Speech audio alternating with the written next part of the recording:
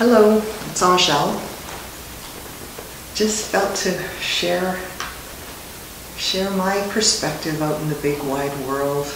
Been poring over perspectives of many, many people for many, many years. Sort of my nature, kind of philosophical, mystic, scientific, intuitive, you know, watching and looking and taking it all in, asking the big questions, who am I?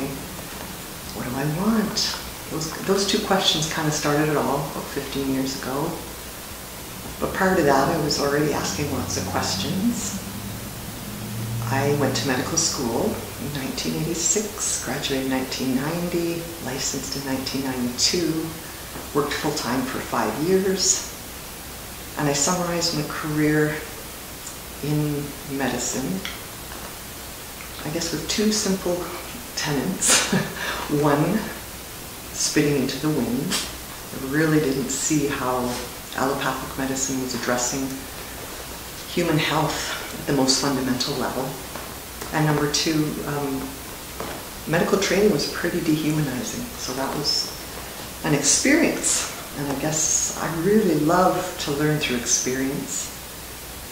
And therefore I've had lots of experiences, as I'm sure every one of us has. And I guess after all this pontification and exploration and experience and inquisitive curiosity, sort of with that fundamental scientific method, somewhat, but at, at some point I sort of dropped even that.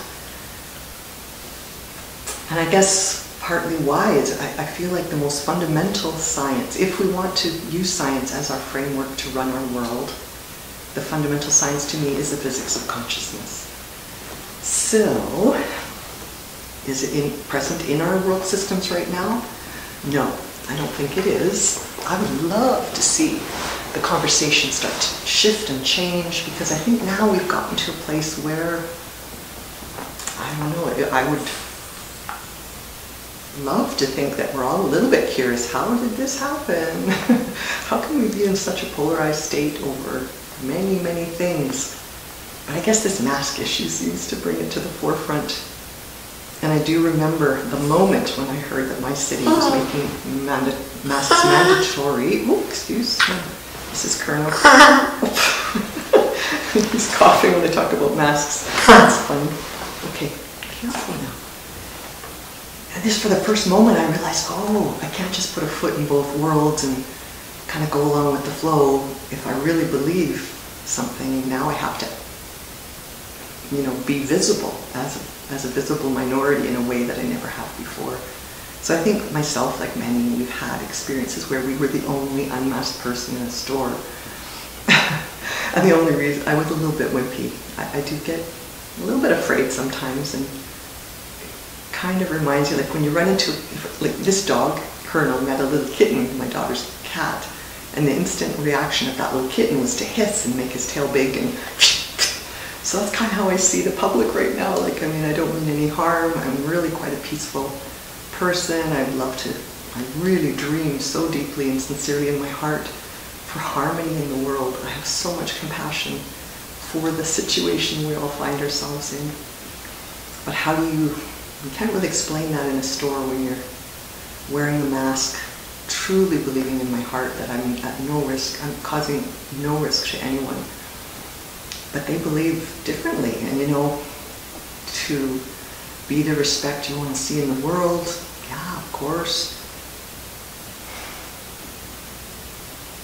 There's a story, the, the Emperor's New Clothes. I've heard one other person share that same perspective where I keep seeing that, like, if you're the one, the kid who said, hey, the emperor's naked, and everyone's like, whoa, everyone was kind of going along with it, like he believes he's wearing fancy clothes because someone kind of made him kind of connect to his human, what do you call it, to that human quality of not feeling good enough. You know, he was told that if you're intelligent, then these clothes will appear, so he had to pretend to be intelligent because deep in his heart he didn't really believe that and he was sort of hoodwinked, kind of using his weakness against him, you know? That means anything, but in the mystic world, sometimes the higher concepts come through metaphor. And so I just throw that up as a metaphor. That's how I think, but I know that's not how everyone thinks. But I would love to be part of the solution. The solutions. I do feel and have felt for decades that we have an unsustainable system of systems. And then you think, how? Why? What happened? How could that be? I actually, in the last six months, do truly believe I understand now how that happened. And I may say that at the end, I don't know. But I guess um, the physics of consciousness, to me, that would be like raising the stage and changing the conversation. Because you can, I guess my analogy for the, what I feel the physics of consciousness has to offer is that I see most people as believing themselves truly, deeply, and sincerely, so it is true for them, that they're like a camera. You know, the world is physically there, and I take a still shot and I get the picture back because I have no influence. That's just all outside me. I'm the camera. I can take pictures of that reality. And I think the physics of consciousness points to the fact that maybe we're actually, we, we can choose to function that way for sure. Often I feel that choice isn't a conscious one because it's sort of been entrained in, in our education system in, and in our unsustainable system of systems. But truly, I believe, and I think a lot of spirituality and you know you hear you know real-time stories of of Yogananda as an example, you know, some really what would be considered miraculous abilities in human beings that are actually displayed. But of course, if you don't see it and you don't experience it for yourself, it can seem like impossible. Absolutely not. But we are more like video projectors. Like we can project what we see outside us is kind of coming from inside. So the idea that consciousness is the fundamental building block of our reality. So I guess I can call it a theory. Personally, I, I feel that I know that, that, that it's true and, and I get it. Like I have compassion for the idea that that wouldn't be easy to hear for many people. But I guess I just want to start talking a little bit. Like, let's find some different ways to discuss this with each other and actually have respectful conversations to start with. You know, I don't see a really good platform available in a wide way anyway. So I think I've been inspired by other people sharing their truth in a compassionate, neutral way, you know, trying to just be a part of the conversation. So I guess I, I do feel to join in the conversation in this world as to what's going on. But I think with all of the reflections that I've had over the years, and particularly in the last few months, I love to go back to two basic questions. What is a human being and what is reality? Like, I think we have a lot of lack of agreement on those two things, and yet fundamentally, I think if we understood what is a human being truly and what is reality, then we could sort of, I think, it, connect with our freedom to choose.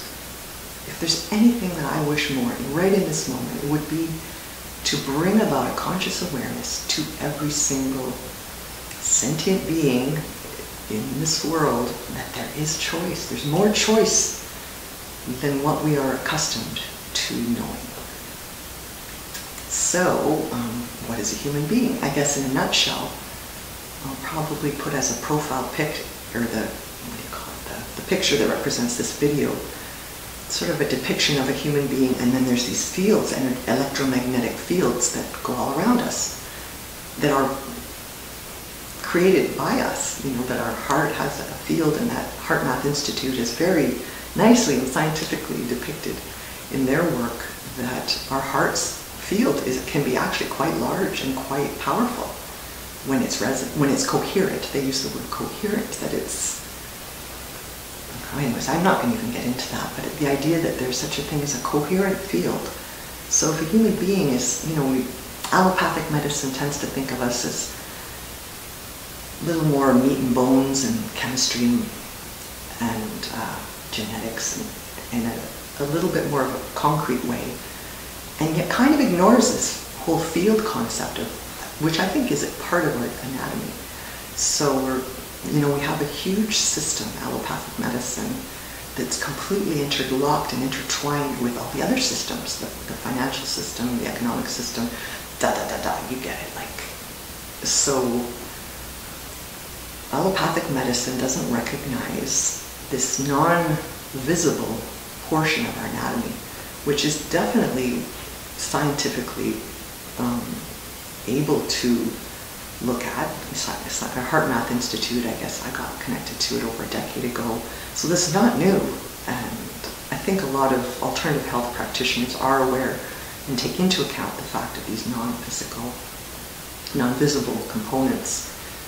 And then the fact that, you know, we've got our five physical senses, but we have other senses as well, you know, intuitive knowing. And some people, you know, work on that, and I certainly have for myself, almost like a full-time job for the last 10 years, really exploring what is possible for a human being and how do we create our reality, what is consciousness, and how can we create our reality. So I guess I ask you the question, do you believe that you create your reality? And it's one to ponder. I, I actually do believe that, that we do, but most, I think a majority of people aren't consciously aware of that. And so they're kind of um, given messages to recreate someone else's creation. And I think it's gotten pretty slick. The system's pretty slick. Mainstream media has a way of sort of focusing in on an area of reality and sort of negating and neglecting so many other portions of reality. My gentle advice would be to take your eye off the microscope and look around. You know, are you willing to consider with your own experience what is possible. You know, my, my personal mission statement is to enable and empower optimal human health. Not really knowing what optimal human health is. And yet I'm getting, as you know, because I chose that exploration, what you choose to see is kind of going to be more seen. So if you really don't choose to explore that, then reality will stay uh, however way you choose to, to see it. that probably wasn't sounding too slick, but anyway. So what is a human being? One good question, which I guess would generate probably a lot of debate, and possibly even within scientific communities. And then what is reality? So I guess quantum physics really had made some discoveries in about 1940 and really didn't get incorporated into the wider world systems. You know, there, some of the discoveries there were controversial, difficult to integrate with prior known knowledge. And so it just hasn't been incorporated. And I think many people who do choose to explore that, you know, the idea of multi-locality and observer effect, it, it's pretty significant actually because when you look at any scientific study that's done has those contributing factors, you know, because I do believe they're more fundamental and they're not being incorporated, but they are having an effect just based on natural law.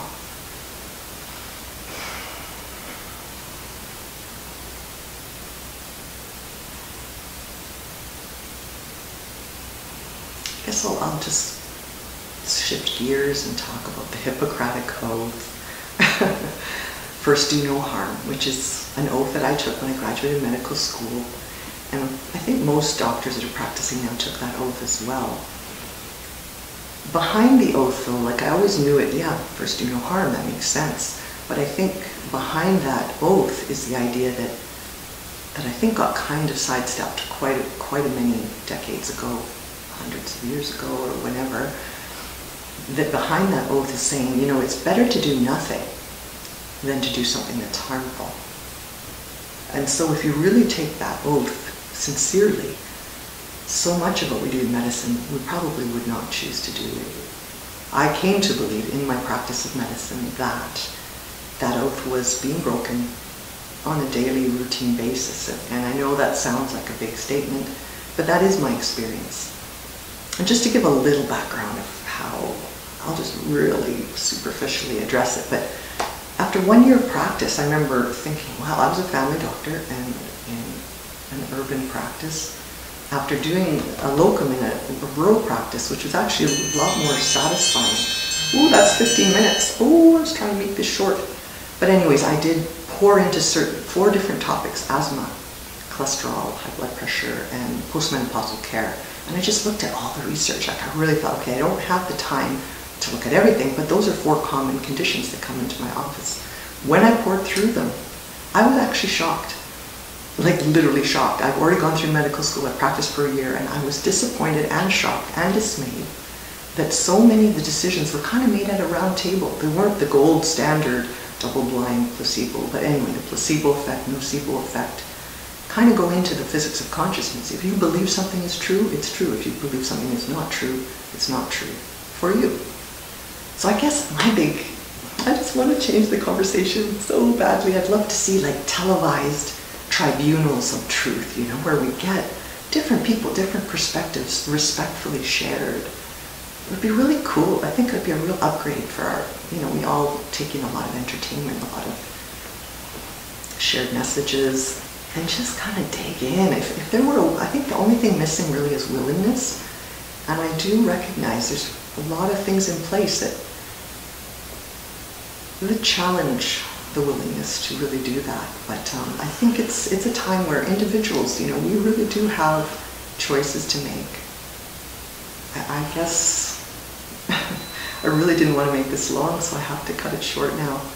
I'm really willing to talk to anyone who could respectfully choose and be willing to share ideas because I, I really do appreciate where most people sit right now. You know, you, what can you believe? You're getting, these people are all saying this and I have to tell you there has been a ton of censorship for anyone giving a message that isn't going along with kind of the status quo and the, you know, whoever is behind who gets to deliver their messages widely and who doesn't. But I really am willing to have discussions and I think the more willing we all are, I, I crave connection to other human beings in a respectful way. But I've had to up my game and really increase my compassion and not be, you know, jumping to a knee-jerk reaction and calling someone ignorant because they don't feel how I do. I used to feel the way most people do. I really do. So I really did. So I really feel that I understand that and I'm willing to discuss very gently with anyone who feels called. I mean, I don't know how the world will go, but I would love to participate and connect and communicate as sincerely as I possibly can with whoever's willing. Mwah! Peace, prosperity, abundance, health for all. Yay!